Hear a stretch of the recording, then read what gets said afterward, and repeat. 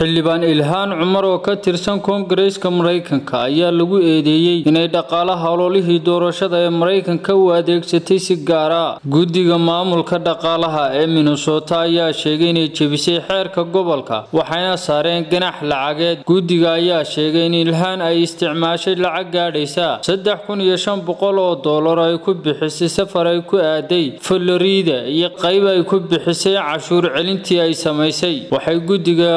sheegayaan inay heleen cadayna in ilhaan cumar kooxdii ololaha u qaabilsanayd ay u iibiyeen tigidh diyaaradood ay boston ay ku tagtay halkaasoo ay uga qayb gashay kulan siyaasadeed. Sidoo kale qayb waxaa lagu bixiyey hotel ay degtay washington d c oo ay uga qayb gashay waraysiga shirka u n sida uu ku waramayo raadiyaha shacabka ee minnesota. Ilhaan cumar ayaa sidoo kale lagu helay in lacagta ay u adeegsatay safarkeedii chicago si ay u aqbasho abaalmarin la siiyey iyo dhaqaale ururin ay samaysay sida uu qabo sharciga gobolka safaaradda waa inay noqdaan kuwo la xidhiidha arrimaha xafiiska sida guddiga uu sheegay ilhaan cumar. Waxay ahayd wakiilka gobolka markii xeerka lagu xadgudbay. Sidoo kale waxaan ilhaan lagu helay in kun iyo shan boqol oo doolar lagu bixiyey arrimo la xidhiidha sixidda cashuur celinta taasoo aan la xidhiidhin ololihii doorashada waxayna dalbadeen in la soo celiyo waxaana la saaray ganax gaadhaya shan boqol oo doolar sida uu qoray wargeyska washington post ilhaan cumar ayaa sheegtay